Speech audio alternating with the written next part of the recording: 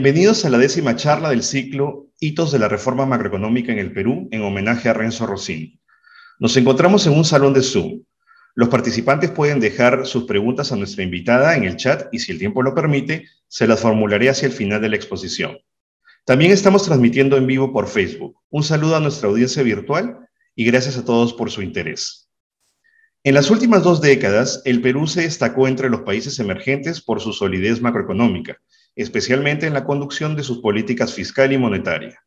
No obstante, cabe preguntarse, ¿esta buena política macro es suficiente para asegurar la resiliencia de la economía peruana a choques externos? ¿Qué rol juegan otros aspectos de la economía, aún en agenda y pendientes de reforma, como las bajas tasas de ahorro, la insuficiente presión tributaria o la poca profundidad financiera? ¿Cómo interactúan estas debilidades estructurales con la fortaleza macroeconómica? Esta noche nos acompaña Liliana Rojas Suárez, quien profundizará sobre estos temas y ensayará respuestas a estas preguntas. Como se sabe, Liliana es una destacadísima economista peruana de enorme reputación y reconocimiento internacional. Es investigadora principal del Center for Global Development, presidenta del Comité Latinoamericano de Asuntos Financieros y profesora e investigadora en la School of International and Public Affairs de Columbia University. Además, fue economista jefe para América Latina del Deutsche Bank, asesora principal del economista jefe del BID y subjefa de la División de Mercados de Capitales del Fondo Monetario Internacional.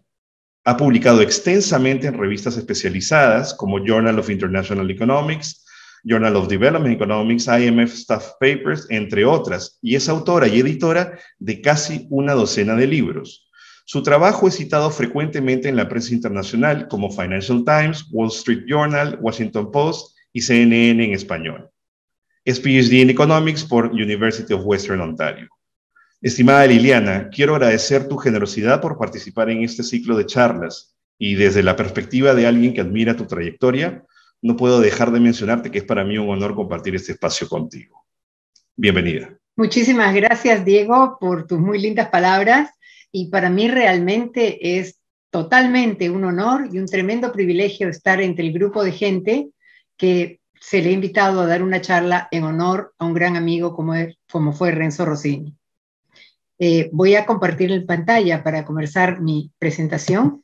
Para comenzar, voy a lo último, digamos, que es que la gran conclusión que uno tiene cuando va a hacer un trabajo de análisis macro y quiere hablar de Renzo, es que es imposible no reconocer el trabajo que ha tenido en el Banco Central para justamente incrementar eso que estamos discutiendo hoy día, la resiliencia de la economía peruana frente a los shocks externos e internos también.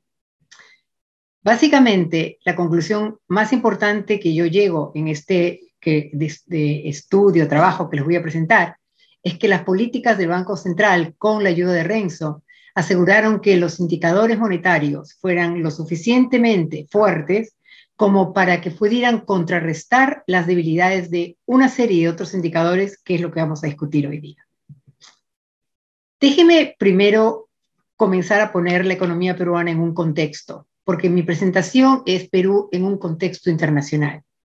Entonces, la primera pregunta es, ¿por qué es tan importante hablar de la resiliencia de la economía peruana a choques externos?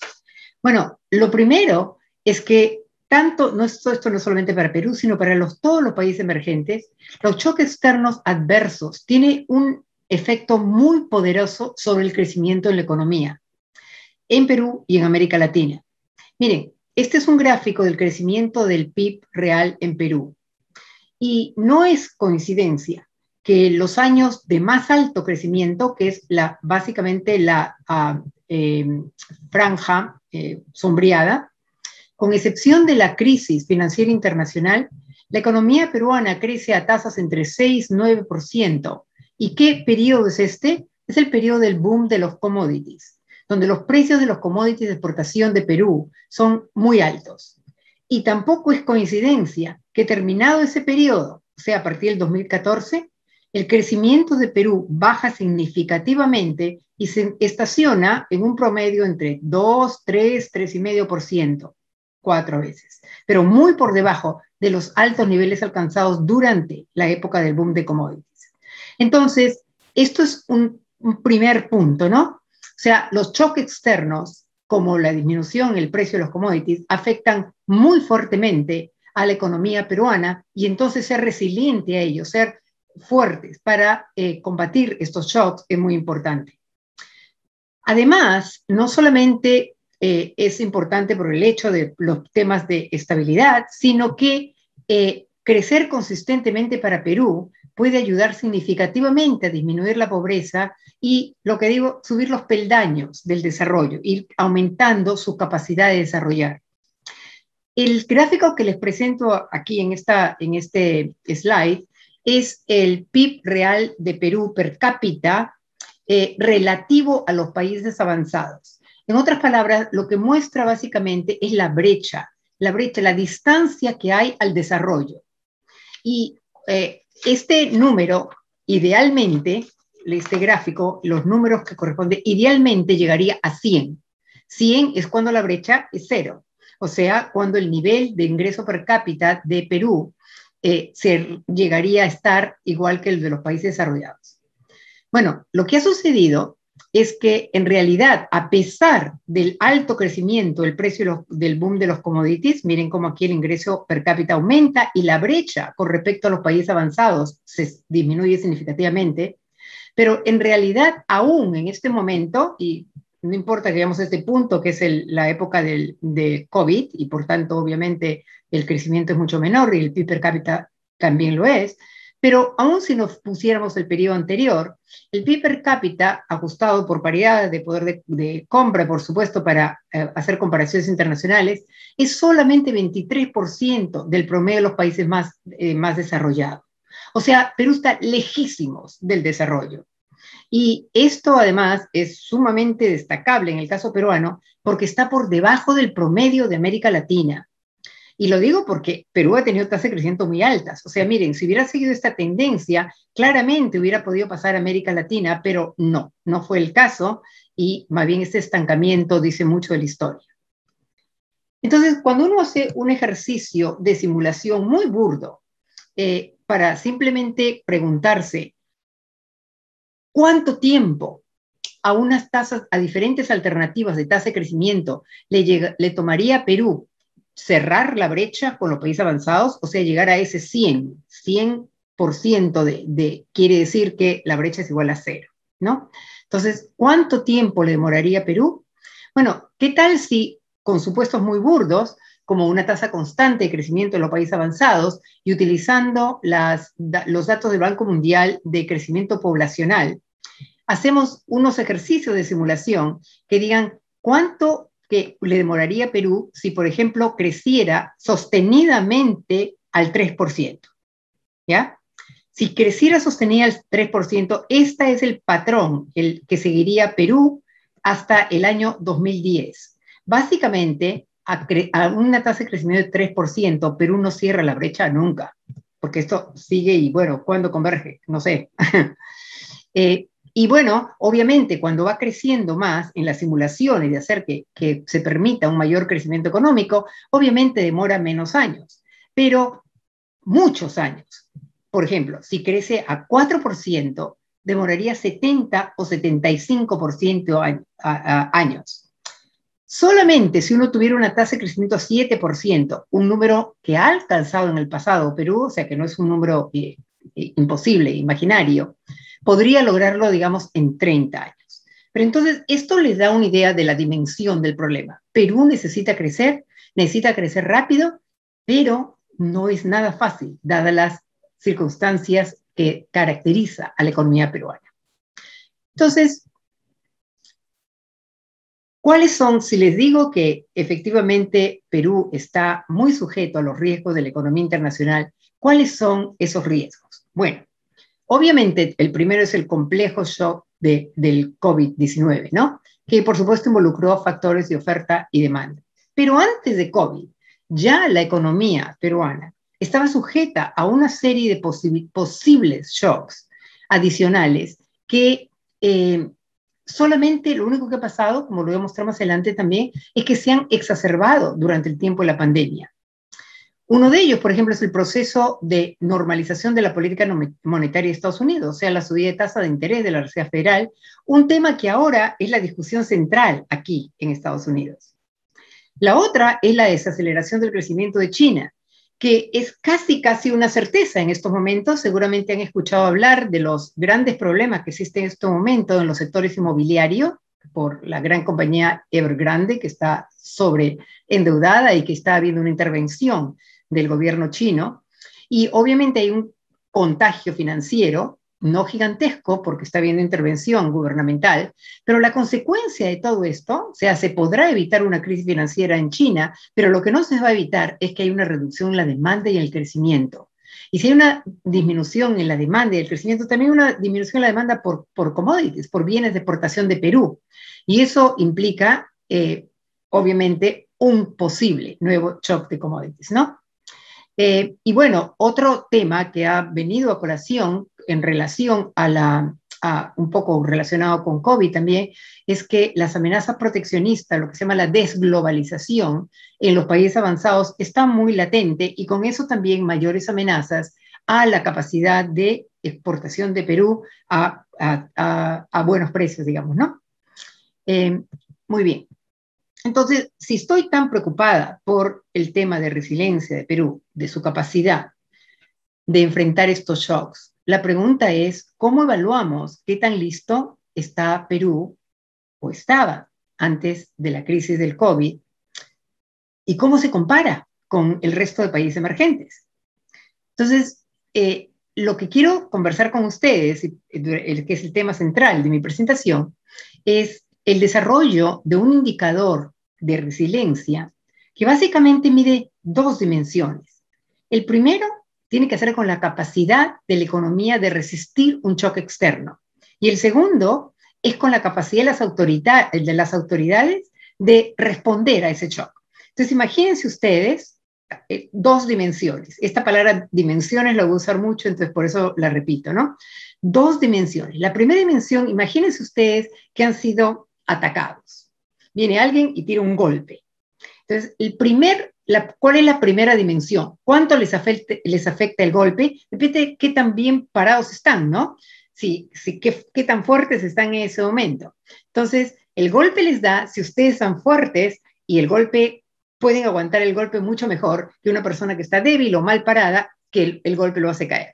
Y la segunda es, bueno, ahora voy a la defensa y entonces el tamaño del punch, del golpe de regreso, es la capacidad de reacción de la economía. Entonces, así me defiendo de un shock, ¿no? Muy bien. Entonces, esto de aquí, complejísimo como se ve ahorita, pero voy a deshilacharlo. eh, básicamente lo que hace es presentar los componentes de este indicador y lo que voy a hacer es ir desarrollándolo. O sea que no importa mucho eh, eh, que no recuerden todo lo que voy a hacer ahora porque lo voy a ir repitiendo múltiples veces. Pero, nuevamente, las dos dimensiones, la, capacidad de la economía de resistir la capacidad de la economía de reaccionar. Y bueno, esas dimensiones, la primera dimensión, tiene dos ah, aristas, digamos, la posición externa de la economía y las fuentes de financiamiento interna. Déjenme explicarles esto. Cuando un shock externo le pega a la economía, entonces, lo primero que quiero ver es qué tan fuerte era, ¿no? Qué tan bien posicionado estaba. Y obviamente voy a estar mejor posicionado si tengo menores necesidades de financiamiento externo. No necesito tanto financiamiento, si se me van los flujos de capital, no importa tanto. Si no tengo grandes niveles de endeudamiento, por lo tanto no tengo que pagar tanta deuda de regreso, no importa que no, no tenga tantos flujos de capitales.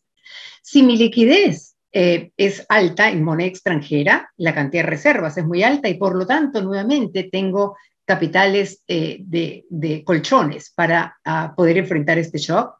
Y también si tengo una muy buena diversificación de exportaciones, porque en ese caso puede ser que afecten el precio de unos, de unos eh, bienes de exportación, pero no necesariamente otros, y eso me permite estar más fuerte.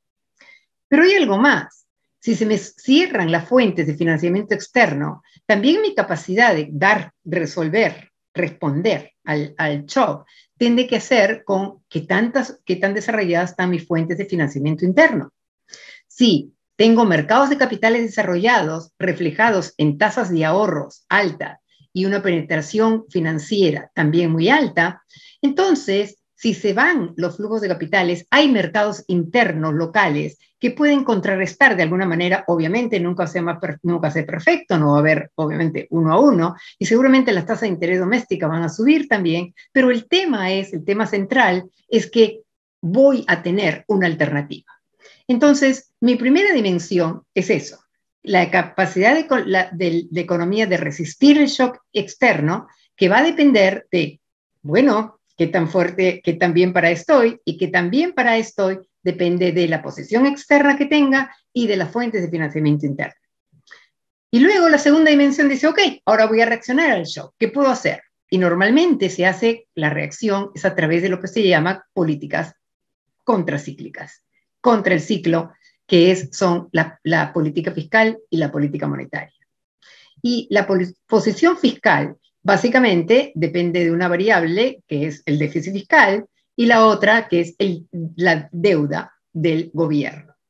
Y la posición monetaria eh, va a depender de qué tan lejos estoy de mi meta de inflación. Tengo una meta de inflación y bueno, si estoy cerca de mi meta, tengo obviamente más espacio para hacer política monetaria. No estoy amenazado por inflaciones altas, que por ejemplo en un momento que tenga que bajar la tasa de interés, si la inflación es alta, no puedo reaccionar con subidas de tasa de interés porque puede, eh, perdón, con bajadas de tasa de interés porque podría acelerar aún más el problema inflacionario. Otro tema es la fragilidad financiera. Aquí porque imagínense un sistema financiero débil y obviamente un sistema financiero débil en el cual lo peor que le puede pasar si está débil es que le suban las tasas de intereses, ¿no? Porque a tasas de intereses más altas, el, el deudor ven con mayor dificultad de pagar los préstamos que está debiendo y bueno, eso obviamente se convierte en una restricción en el, ah, para el sistema financiero y para la política monetaria, porque estoy diciendo, bueno, no puedo subir la tasa de interés y qué tal si el shock a lo que llama esas subidas de tasa de interés y al mismo tiempo tengo un sistema financiero débil. Se me complica la figura. Y la otra es la dolarización. Obviamente la conducción de política monetaria es mucho más fácil si es que tengo los activos todos denominados en la moneda local. Repitiendo esta misma eh, em, eh, información que le estoy poniendo aquí, eh, pero simplemente para poder seguir en un poquito más de orden, ahora como que lo achico y me concentro primera dimensión. Solamente la primera dimensión les dije que era la capacidad de resistir el shock y eso depende de la posición externa y de las fuentes de financiamiento interna. Entonces, déjeme nuevamente decirles qué cosa está adentro de cada una de estas cajitas, porque aquí lo que voy a utilizar son unas variables que van a tratar de medir cada una de las cajitas que están acá. Entonces, ¿qué está dentro de la posición externa y qué está dentro de la fuente de financiamiento interna? Muy bien.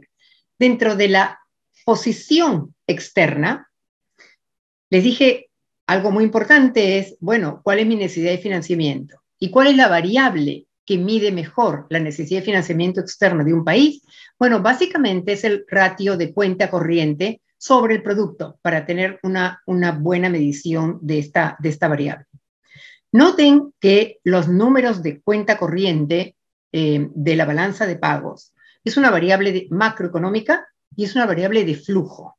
Y digo a flujo para diferenciarla de variables de stock, ¿no? La variable de acervo. Y eh, una, la siguiente variable que quiero conversar con ustedes es solvencia, que es lo que les decía, eh, la deuda externa total que tiene el país con respecto al PIB, que me da una, un indicador sobre la capacidad del país de cumplir con sus obligaciones financieras externas. Esa es una variable también macro, pero es una variable stock. ¿Por qué estoy clarificando que es una variable macro? Porque voy a tener en el análisis que les digo, eh, eh, variables macro y variables estructurales. Variables macro, bueno, todos lo conocemos, pero las variables estructurales se caracterizan porque no se mueven tanto en el tiempo. La inflación es claramente una variable macro, se mueve todo el tiempo, eh, las tasas de interés son variables macro, la cuenta corriente cambia de un año a otro en, en forma muy importante, pero hay otras variables que son las que voy a agregar al análisis, que eh, no se mueven tanto, ¿no? Entonces, em, otra de las variables macro es la liquidez en moneda extranjera, que ya se los había mencionado también, que tiene que hacer con las reservas internacionales. Y es básicamente cuánto de deuda externa tengo de corto plazo que está cubierto con reservas internacionales. Obviamente, cuanto mayor reservas internacionales tenga con respecto a la deuda de corto plazo, la que se me vence ya, obviamente, cuanto más reservas tenga, entonces puedo tener una mayor capacidad de mostrarle a los mercados internacionales que tengo recursos en moneda extranjera disponibles en ese momento, en ese momento, los malos tiempos, cuando no se, básicamente los flujos de capitales externos han disminuido tremendamente, yo tengo liquidez para mostrar que puedo ser buen, buen acreedor, ¿no? Que pues puedo pagar mis deudas porque tengo la liquidez en las manos. Y esas son las reservas del Banco Central. Un indicador que les mencioné es diversificación de exportaciones, que esta sí es una variable estructural. Esto no cambia así de un año a otro, ¿no? Eh, es la canasta de exportación medida, y eso lo voy a explicar más adelante, por un indicador que llamo de complejidad, que refleja la sofisticación de la estructura productiva, de la sofisticación de la, de la canasta de exportaciones. O sea, qué tan compleja en el sentido de valor agregado, eh, de eh, capital incluido en la producción de los bienes de exportación, ¿ok? Que no sea solamente materias primas, digamos. ¿Ok? Muy bien, entonces les dije posición externa, vuelvo para explicarles que estoy en esta parte, ¿ok? La posición externa. Y ahora, bueno, veamos qué variables veo en las fuentes de financiamiento internas. En la fuente de financiamiento interna, básicamente veo dos variables. Y las dos son estructurales, no cambian mucho en el tiempo. Una de ellas es el ahorro nacional, el ahorro de las empresas, familias y gobierno, y la otra es profundización financiera, medida por una serie de variables. La más importante es el crédito con respecto al producto de un país, porque mide la capacidad del sistema financiero de proveer financiamiento a la economía. ¿Ok? Entonces, otra vez, esta fuente de financiamiento interno son muy importantes para contrarrestar el efecto de un choque externo porque tendría, cuanto más desarrolladas estén estas variables, cuanto mayor el ahorro interno, cuanto mayor la profundidad financiera, mayor es esa, esa alternativa de financiamiento que tendría yo para enfrentar un choque externo. Muy bien, ahora, con respecto a las variables de respuesta, la capacidad de las autoridades de actuar. Bueno, les dije que eran variables fiscales y variables monetarias, y esas las conocemos de siempre, la posición fiscal, la necesidad de financiamiento público, por, representada por el déficit fiscal, el endeudamiento gubernamental y una variable que es más estructural, que tiene que hacer con la capacidad de recaudación de impuestos, la recaudación tributaria, que esa tampoco cambia mucho en el tiempo, ¿no? Así como el déficit fiscal se puede cambiar bastante en el tiempo, la capacidad de coleccionar, de recolectar impuestos no cambia tanto. Y la posición monetaria, ya les comenté, tengo la desviación de la inflación con respecto a la meta, la fragilidad financiera y la dolarización. Todo esto ahora vamos a comenzar a ponerle cuerpo, a ponerle números y a, contar la historia de Perú en el mundo en base a estas variables. Entonces, déjenme decirles que lo primero es, si quiero evaluar la resiliencia del shock eh, eh, de la economía al shock externo, tenemos que ver cómo estaba la economía al momento que es el shock. Las condiciones iniciales son tremendamente importantes. Entonces, vamos a escoger dos puntos de tiempo. Uno de ellos es el periodo previo a la crisis financiera internacional, es el año 2007, porque el 2008 es cuando se da la crisis financiera internacional. Y el otro es a fines del 2019 y comienzo del 2020, donde sea el shock de COVID, que comienza en el 2020 y continúa, ¿no? Entonces, vamos a escoger esos dos puntos de tiempo, que es justo antes que el shock, para preguntarme qué tan fuerte es la economía, ¿ok? ¿Qué, ¿Cómo está en el momento? Porque no sabe que le va del shock, ¿no? Viene de sorpresa. Entonces, va a darme y yo quiero saber qué tan fuerte estoy. Muy bien. Entonces, ahora comenzamos a contar la historia de Perú en el mundo. Les dije que por favor no se olvidarán de que estoy hablando de dos dimensiones siempre y la primera dimensión tiene varias variables y eso es lo que voy a presentarles ahora. La primera dimensión, capacidad de resistir el impacto, y les dije que una de las variables era la cuenta corriente de la balanza de pagos, o sea, las necesidades de financiamiento externo de Perú. Y aquí lo que tengo son dos gráficos que lo que tienen son la cuenta corriente como porcentaje del PIB en los dos periodos que les he mencionado, en el 2007, antes de la crisis financiera internacional, justo antes, y la cuenta corriente a principios del 2020, justo antes del shock de COVID. ¿Ok? Y estos son los países emergentes con los cuales voy a hacer la comparación. Básicamente tengo cuatro regiones en el mundo. Los países que están en amarillo son los países de América Latina de la muestra, que eh, los países que estoy incluyendo en América Latina son los únicos que voy a mencionar, porque bueno, América Latina como que es un comparador más cercano. Brasil, Argentina, México, Colombia, Chile y Perú. ¿Ok?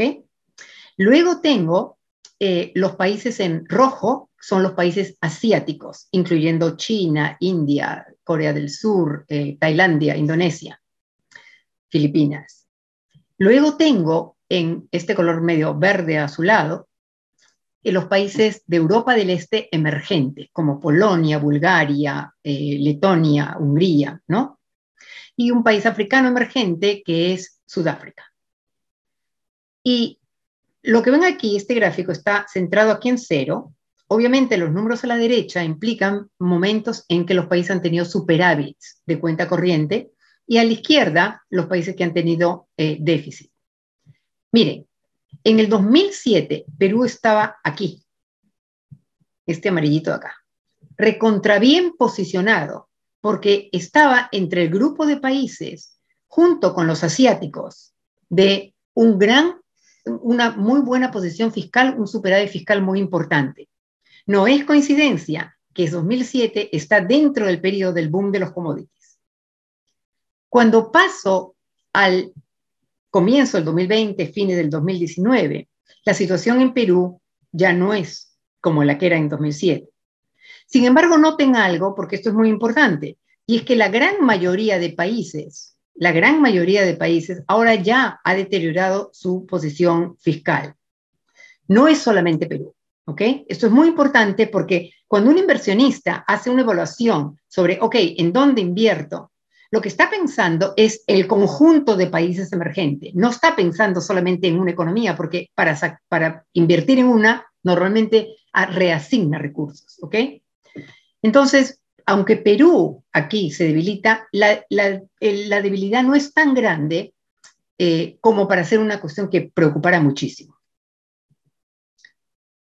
Ahora, les dije que también otro indicador de qué tan fuerte está dentro de esta primera dimensión para resistir el impacto era la deuda externa como porcentaje del PIB. El otro era una variable eh, de flujo y la otra, y esta es una variable de stock. Algo que quiero aclarar antes. Les dije que dentro de las variables que estoy considerando, estoy considerando variables macro y variables estructurales. En una primera rueda de mostrar los indicadores, voy a centrarme solo en las variables macro. ¿Ok? Por eso lo que dice aquí, en el subtítulo, van a leer por una buena cantidad de transparencia, la fortaleza macroeconómica. ¿Ok? No incluyo las variables estructurales aún, solamente las macroeconómicas porque tengo un punto importante que hacer. ¿Ok? Y por eso es que estoy usando solo las macro. Entonces, la primera que he visto es cuenta corriente. Ahora déjenme ver esa es la necesidad de financiamiento de la cuenta corriente. Pero ahora, ok, yo puedo tener poquitas necesidades de financiamiento este año, pero ¿qué tal si el shock me agarra con una deuda internacional muy grande, una deuda externa muy grande? Pero la verdad es que ni en el 2007 ni en el principio del 2020 o fines del 2019, cualquier punto que quieran tomar, afecta mucho a la situación de Perú porque Perú se encuentra muy bien para enfrentar el shock con respecto a su posición de deuda externa. Este es el indicador de solvencia. Esta línea es de 45 grados.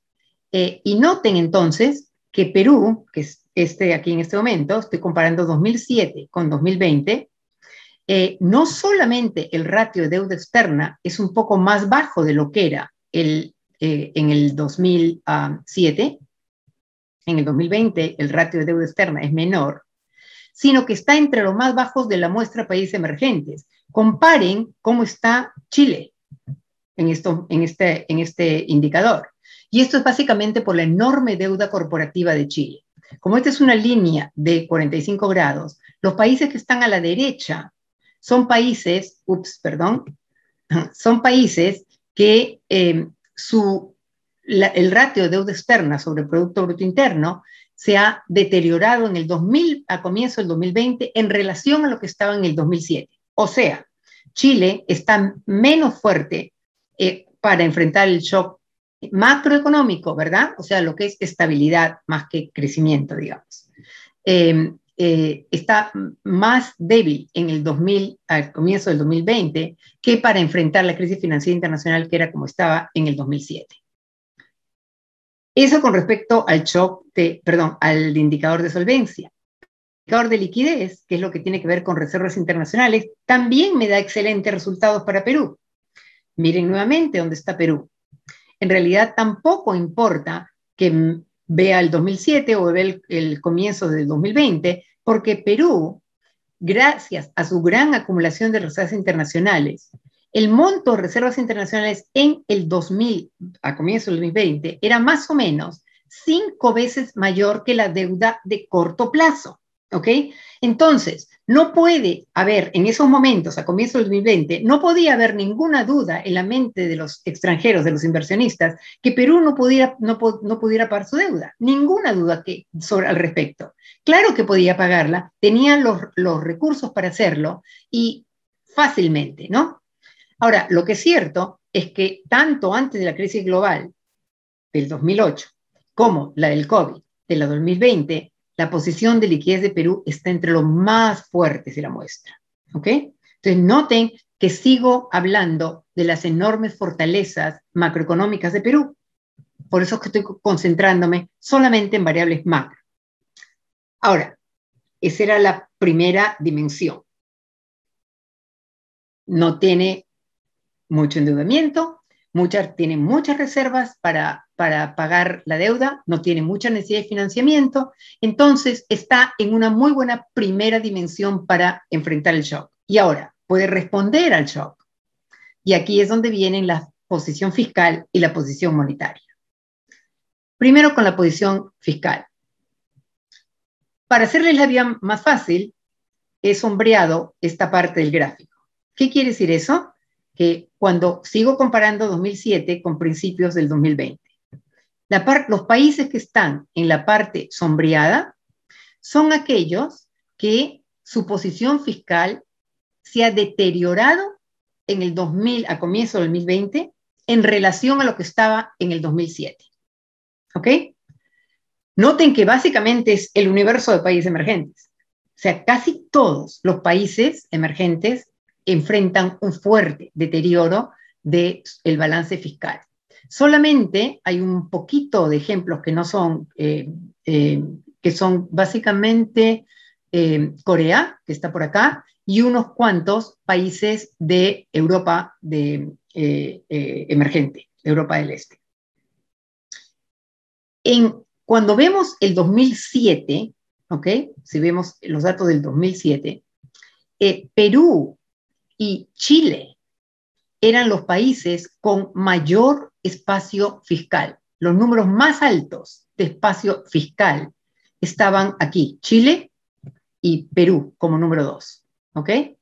Son los que en el 2007 están en países emergentes de la muestra, por supuesto, pero son los países más grandes del mundo, o sea que son muy representativos de países emergentes. Eh, son los de mayor capacidad de espacio fiscal. La posición en el 2020, a comienzos, se deteriora en este periodo pre-COVID que le estoy mencionando. Pero con todo, a pesar de eso, a pesar de ese deterioro de la posición fiscal de Perú, Con todo, presenta el menor déficit fiscal entre los países latinoamericanos. Ahora vemos el 2020 y efectivamente Perú es el país entre los puntitos amarillos, que es América Latina, que está más a la derecha del gráfico, o sea, que tiene mayor, mejor posición fiscal. ¿Ok? Entonces, posición fiscal, check, también fuerte. Y no solamente en flujos, sino en stock.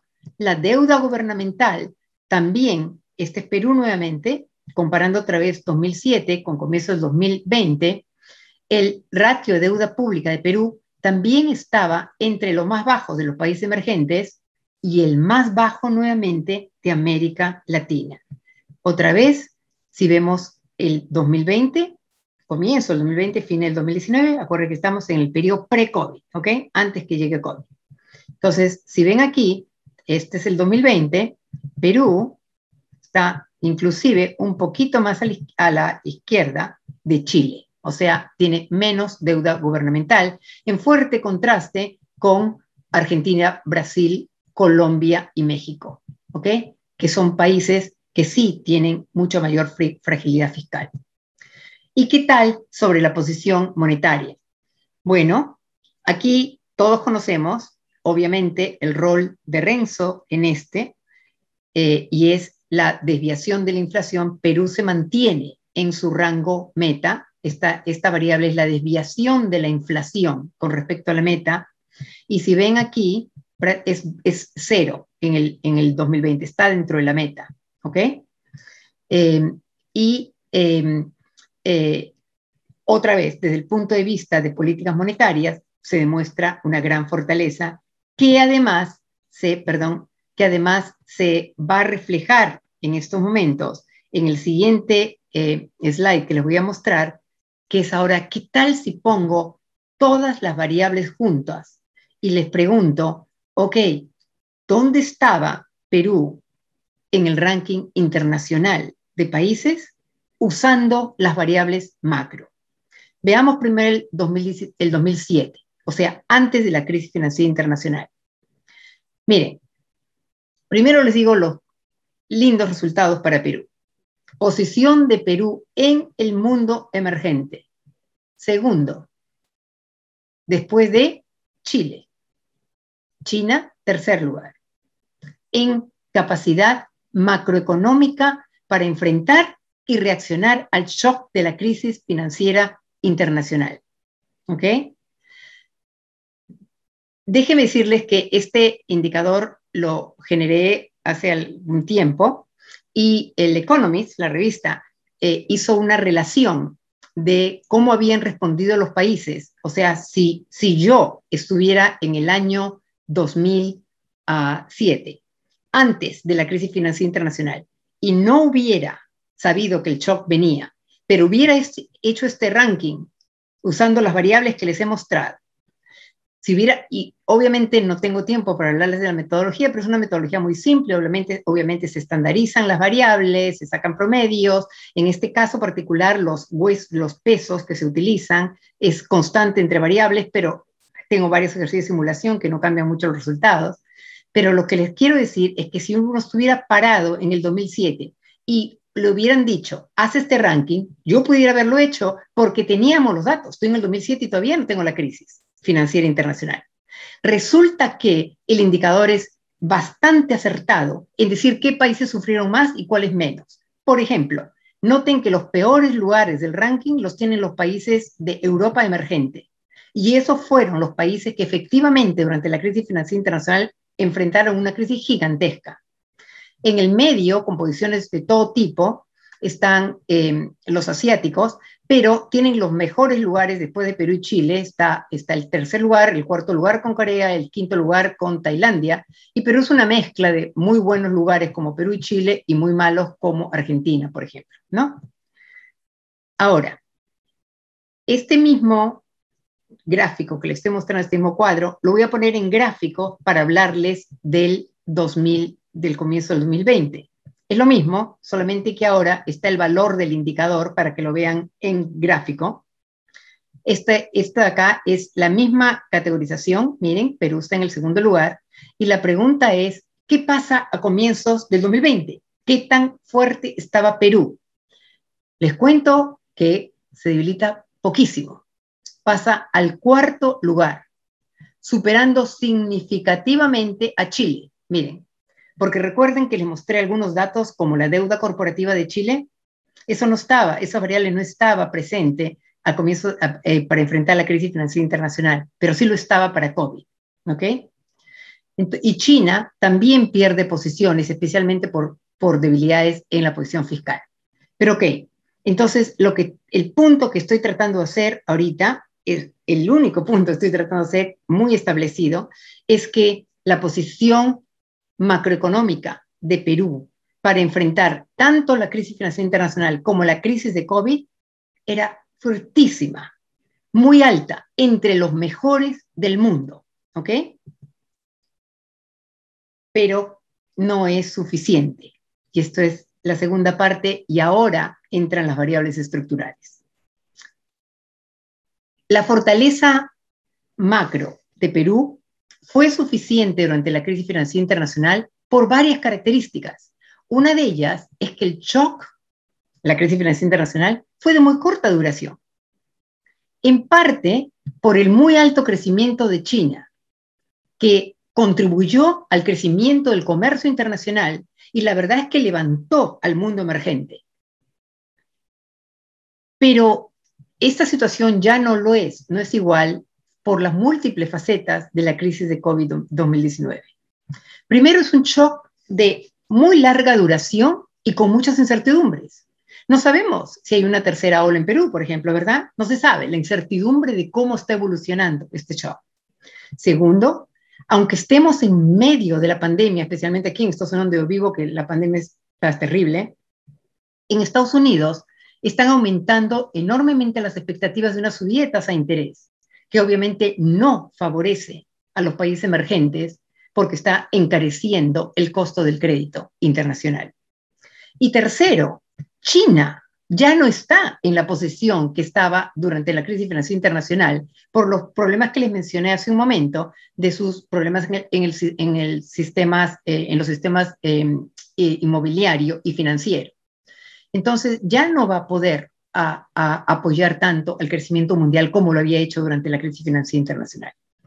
Aquí entonces es cuando las variables estructurales importan, porque necesito fuentes consistentes de crecimiento que me permitan poder, reaccionar y tener políticas de enfrentamiento a este shock. Entonces ahora, viendo la parte estructural, veamos esta nuevamente la primera dimensión, la capacidad de resistir el impacto. Y les dije que en variables estructurales era bueno, si se me van los flujos internacionales externos o disminuyen significativamente, no tienen que secarse, sino simplemente que disminuyan significativamente, tengo fondos internos y que la variable que más me habla de eso es la tasa de ahorro, obviamente. Y aquí la historia de Perú comienza a ser completamente diferente a la que les he estado contando cuando hablaba de las variables macro. Miren, ¿Dónde está ahora la posición de Perú? Esto es un promedio 2014-2019. Aquí nuevamente estoy hablando de variables estructurales, ¿no? Ya las variables ya no es una variable que se mueva continuamente, tengo que ajustarla de alguna forma para mostrar algún tipo de tendencia, pueden mostrar lo que quieran. Lo cierto es que la tasa de ahorro de Perú es sumamente bajísima, lo cual limita significativamente la inversión y el crecimiento justamente en momentos que pueden haber bajas entradas de fondeo y de capital extranjero. Y la otra, que va, es reflejo de estas tasas de ahorro y también es una variable estructural, es la profundización financiera. El crédito del, al sector privado en Perú viene mejorando. Eso es importante, porque aquí estoy a propósito comparando nuevamente el periodo 2007, solamente que ahora ya es un promedio de varios años, porque no, no me interesa en un año en particular, eh, y lo estoy comparando también con otro, con el periodo reciente, antes de la crisis de COVID. Y Perú, a diferencia de las variables macro, ahora lo que se muestra es que Perú tiene muy baja profundización financiera, más bien ahora está entre los más bajos, a pesar de que viene mejorando con respecto al 2005-7 está por, por debajo de la línea de, de crédito como porcentaje del producto. Y venía mejorando y también lo estaba haciendo el ratio de la cartera de fondos de pensiones, que es obviamente otro indicador de eh, la capacidad de del desarrollo y mercados capitales y de fondos internos de financiamiento. Y bueno, eso llegó hasta el 2019, ¿verdad? Por un montón de razones, que obviamente no hay tiempo para conversar ahora, porque estoy seguro que se discutirán en otras charlas. Eh, bueno, los fondos de pensiones no está, la cartera obviamente está más bien deprimida en este momento, ¿verdad? Entonces, eso tampoco ayuda a, las variables estructurales de Perú, a su capacidad de generar fuentes de financiamiento interno que puedan compensar con los problemas de eh, salidas de flujos de capital o no entradas, no, no tiene que ser salidas, sino disminución de flujos de capital simplemente, ¿no? Y la última variable en esta primera dimensión de resistir era lo que le mencioné, la diversificación de exportaciones. Y aquí utilizo una variable que se llama la complejidad de exportaciones.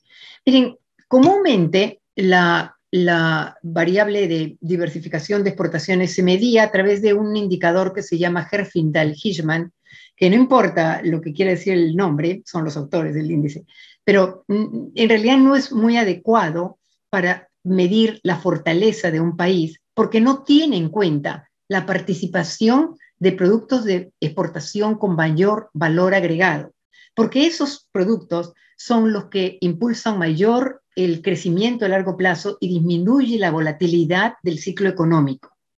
Entonces, ese, en vez de utilizar el índice tradicional, utilizo el llamado de complejidad, que refleja la sofisticación de, las, de la estructura de, la, de las exportaciones en los países. Entonces, ¿cómo se ve Perú? No muy bien tampoco. Aquí está Perú, en el índice de complejidad de la canasta de exportación. Perú, junto con Colombia, están en la posición más baja de América Latina.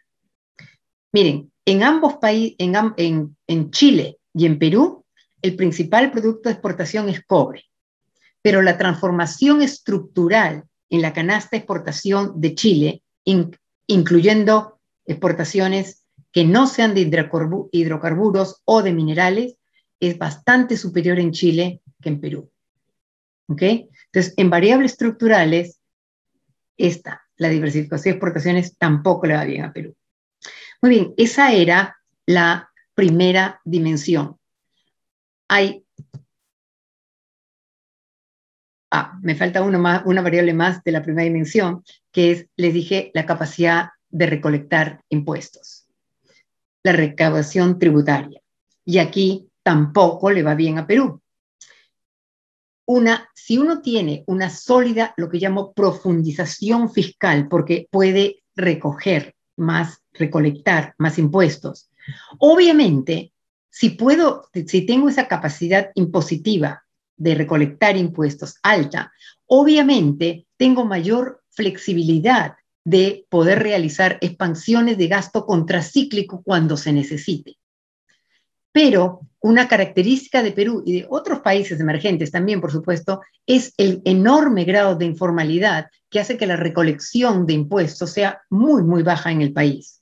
Entonces, reflejando estos altos niveles de informalidad, la recaudación tributaria en Perú es muy baja. Miren el grado, otra vez, comparando un índice del Banco Mundial sobre el índice de informalidad empresarial. Miren dónde está, dónde está Perú. También entre los más bajos, por supuesto no como en Indonesia, que es informal en forma impresionante, pero el punto está en que tampoco cuando lo comparo con el resto del mundo emergente, a Perú le va muy bien. Y esta es la última variable que les, que les quiero comentar, que es, pero es ahora en la segunda dimensión, o sea, la capacidad de las autoridades de responder. Y les dije que básicamente son políticas monetarias y políticas fiscales. Y dentro de las políticas monetarias está la dolarización, no políticas monetarias, perdón, dentro de las variables estructurales que afectan la capacidad de hacer política monetaria está la dolarización. Renzo entendía muy bien el problema de la dolarización, lo mencionó un millón de veces y en un artículo en el 2016, junto con sus coautores Marco Vega, Zenón Quispe y Fernando Pérez, Inflation Expectation and Dollarization en Perú, publicado por el, em, el BIS y también luego en el Banco Central de Reserva, afirma que el traspaso del tipo de cambios o los precios domésticos en escenario de dolarización impone mayores retos a la política monetaria. Y en el 2007 ya decía que la conclusión es que la efectividad de la política monetaria puede mejorarse aún más si la economía está aún menos dolarizada. ¿Y por qué dice aún menos dolarizada? Porque Perú ha estado haciendo progresos importantes en disminuir la dolarización. Gracias nuevamente a los esfuerzos de Renzo, los esfuerzos de Julio, los esfuerzos del Banco Central. Pero aunque ha habido mejoras importantes, Perú sigue muy dolarizado está entre los más altos de países emergentes. Básicamente, solamente en este grupo, Rumanía, Bulgaria, Turquía están más dolarizados que Perú. Entonces, viene como que la parte no tan buena o triste, digamos, de la historia. Y es que les vuelvo a presentar el índice de resiliencia macroeconómica que les había presentado hace un momento donde Perú, para comienzo del 2020, cuando está por darse el shock de COVID, se encuentra en la cuarta posición. Pero si ahora combino el shock de resiliencia y no solamente incluyo variables macro, sino también las variables estructurales, Perú da un salto gigantesco hacia abajo y pasa a la posición 16. Ningún otro país emergente de los que he estudiado, baja tanto como Perú cuando consideramos su solidez estructural. La parte de la, el mensaje es que la resiliencia de la economía peruana frente a shocks persistentes como COVID-19 está seriamente afectada por deficiencias estructurales. O sea, la macro tiene un límite y el límite se lo impone las deficiencias estructurales. Y bueno, el tema de la, de la necesidad de hacer reformas estructurales no es nuevo. Lleva más de dos décadas de estar siendo reconocido. Y nada lo resume mejor que un libro también publicado por la Universidad del Pacífico, que además de tener como autores a Lalo Morón y Pepe Alderrama, tiene como, tuvo como autores a dos economistas que también fallecieron muy tempranamente, Roberto Busada y Fritz Dubois, que junto con Renzo, obviamente forman el corazón de lo mejor de economistas que tiene Perú, que ha tenido y tiene, porque su obra perdura. Entonces, para concluir simplemente, la conclusión es que en presencia de fuertes debilidades estructurales, la política monetaria ha compensado tremendamente para mantener la resiliencia de la economía peruana. La labor de Renzo y del Banco Central ha sido una pieza central, pero dentro de la fortaleza macro, aunque es necesaria, no es suficiente, lo vuelvo a repetir, y son dos tareas las que uno tiene. El primero, si la fortaleza macro nos ha dado tanto, bueno, hay que protegerla, ¿no? Y una de ellas es importantísimo no perder la independencia del Banco Central y obviamente mantener la estabilidad financiera.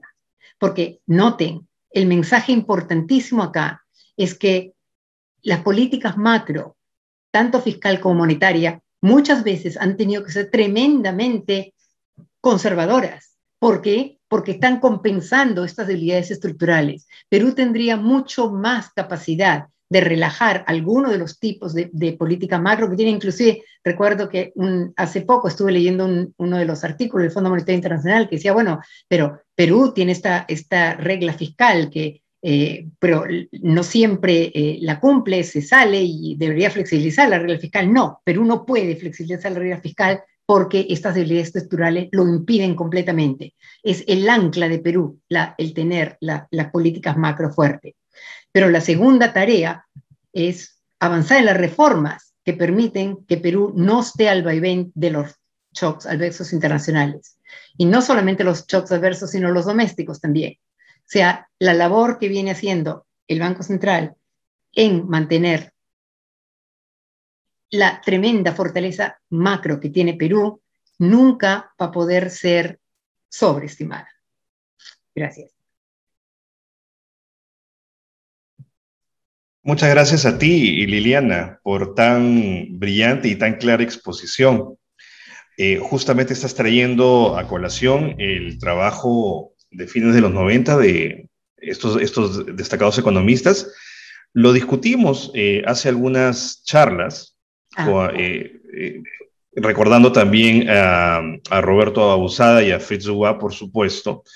Y, y sí, o sea, ex post da mucha lástima que ese trabajo que advertía justamente lo que no se había avanzado y lo que debía avanzarse, realmente haya quedado más o menos en el olvido, ¿no? A juzgar por los resultados que tú has presentado.